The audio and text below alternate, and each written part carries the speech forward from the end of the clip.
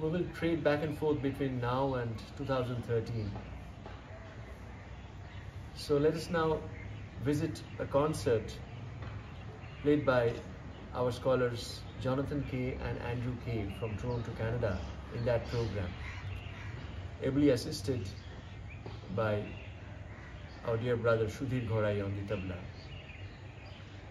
Jonathan and Andrew, popularly known as the Saxophone Brothers, have a jazz background, a very strong one, but they gave their entire dedication, sincerity, and respect towards Bharatiya Rag Sangeet and learnt bandishes and rag roop and have always continued their riyaz in the perfect process as shown by our traditions.